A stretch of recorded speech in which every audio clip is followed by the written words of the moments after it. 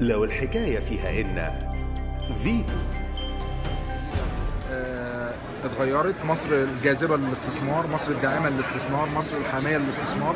كل ده هو الأساس اللي إحنا بنقدمه. أنا آه، هتبسط جدا لما نمضي مشروعات بس هكون مبسوط أكتر وأكتر لما إن شاء الله الرسالة دي توصل للعالم كله. إحنا عايزين استثمارات تقريبا كل سنة ب 15 مليار دولار. مش هتقف عند النهارده نمضي ب 15 مليار ولا ب 10 ولا ب 12 وبعد كده ما نعملش حاجة لا. إحنا بنتغير اصدرنا قانون الاستثمار اصدرنا قوانين آه، للضرائب آه، مبشرة بالخير. آه، في مفاجات هتعلنها الحكومة.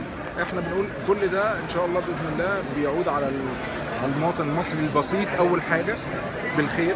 طبعا النتيجة مش هتبقى بكرة مش هتبقى يوم 16 لازم الناس تفهم كده. كل حاجة محتاجة وقت ولكن أهم حاجة البداية الصحيحة. وأنا على ما أعتقد هذا المؤتمر فيه بداية صحيحه